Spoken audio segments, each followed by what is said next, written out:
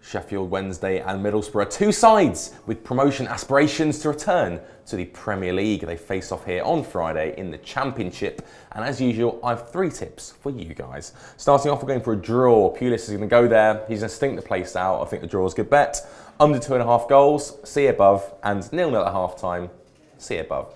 For more similar tips and content from Oddschecker, do subscribe to our YouTube channel and follow us on social media.